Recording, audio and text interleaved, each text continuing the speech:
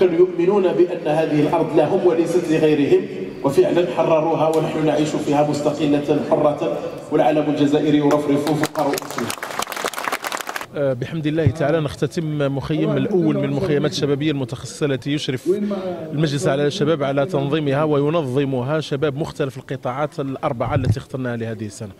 والمخيم رقم واحد الذي خصص لمتربصي ومتخرجي التكوين المهني يسدي الاستيطار اليوم على أشغاله. عاش الشباب خلال يومين ونصف من الزمن في خضم فعاليات متنوعة ورشات ومجموعات تفكير مهم مجموعة من النشاطات الغير نمطية.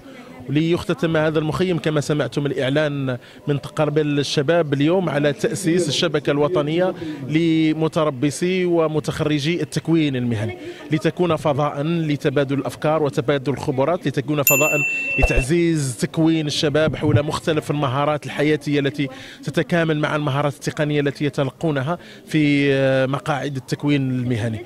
لتكون المحصلة التركيز على تنمية قدرات الشباب ليكون فعلا مساهما في تنمية وطنه ومنخرطا في الديناميكية الوطنية التي تعرفها البلاد بإذن الله تعالى. اليوم قطاع التكوين والتعليم المهنيين يضم مجموعة من التخصصات المهمة والحديثة مثل نجد مياه مهن المياه مثل تحية مياه البحر ومثل مثلا إصلاح التجهيزات الطبية. الآن مجموعة التخصصات التي يسعى قطاع التكوين والتعليم المهنيين إلى توسيعها وفتحها هي رؤية للمستقبل. طبعا المخيم هو فرصة للاستماع عن كثب وعن قرب لهؤلاء المتربصين لمشاركتهم تطلعاتهم ليكونوا هم الشريك الأساسي في رسم مخطط أو معناها مجموعة الأفكار والأطروحات التي تستجيب لها وزارة التكوين والتعليم المهنيين. نشكر في الأخير يعني المجلس الأعلى للشباب على تنظيم هذا المخيم. كذلك السلطات المحلية لولاية شلف على الاستجابة واحتضان هذا المخيم. في الأخير يعني يعني أتوجه إلى جميع المتربصين في قطاع التكوين والتعليم المهنيين للتوجه إلى الفضاءات المتاحة مثل النوادي العلمية ونوادي الابتكار والإبداع. الموجودة على كل مؤسسة تابعة للتكوين والتعليم المهنيين. هذه الفضاءات والنوادي هي ما سيسمح لهؤلاء الشباب أنهم يبدعوا ويحققوا مهارات ويكون تتاح لهم المرافقة الدائمة والمتواصلة من طرف خبراء القطاع. كان فيه مزيج من الروح التنافسية في مختلف في مختلف القطاعات أين تم طرح بعض الانشغالات وبعض الأفكار وبعض المشاريع التي كانت في المعتقد أنها أنها مشاريع لن تجسد في أرض الواقع. ولكن عند مناقشتنا لهذه المشاريع في مختلف الورشات التي أقيمت في هذا المخيم استدرجنا أنه يمكننا تطبيق هذه المشاريع على أرض الواقع. وكل الشكر موصول لمختلف إطارات الدولة.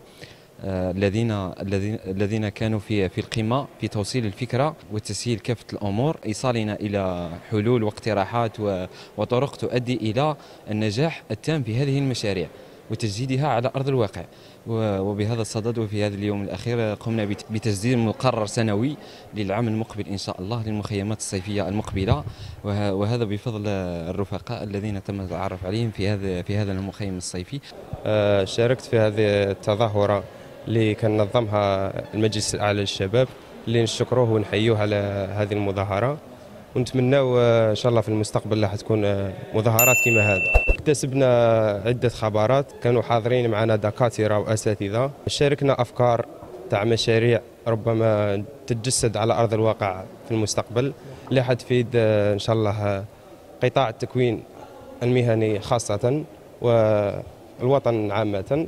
فهذا المخيم كان فرصة مليحة للمتربصين في مجال التكوين المهني والتمهين وعلى هذا اللي لازم الإنسان كي يجي لهذه المخيمات يستفاد باش يعرف الفرص اللي كاينة في مجال الشغل وباش يبين الأفكار ويدير معارف جدد مع الناس اللي يحتاجهم في المجالات اللي راه فيهم هو. جينا المخيم الصيفي هذا تعلمنا فيه الطريقة الأمثل والصحيحة للوصول إلى المبتغى والهدف لكل شاب. طموح وطريقة كيفية من سيحقق المشاريع نتاعه واللجنة اللي كاينة هنا استمعت إلى الشباب والمشاكل اللي عندهم كمحاولة لإصلاحها وتفاديها وأن يولي الطريق تاع الشباب خالي من المشاكل والعراقيل لكي ينجح الشباب ويتفوق والمخيم هذا كان فيه العديد من الورشات من أهمها دراسات المقاولات. وهذه حاجة مثلا الشباب الكل راه متمنيها وراه ماذا به يتمهن فيها ويتمكن منها لأن تمهين وتكوين ناجح الآن معناتها رانا نشوفوا فيه في الجزائر ونشكر الذين قاموا بهذا المبادرة وربي يوفقهم ولو بكلمة معناتها في التعاون نتاعهم. ولا أن يسابق الزمن أن يرفع التحدي ليصنع الكثير لصالح هذه الشبيبة ولا طالما قلت بأنه يمكن أن نحقق انجازا لصالح الشباب بأن تعطيه منحة ما أو مكسبا عابرا. ولكن المكسب الحقيقي هو عيانا ونصنع بإرادتنا بحول الله تعالى وقوته نهجا يجعلنا ممكن لنا في هذه الأرض وفي هذه البلاد.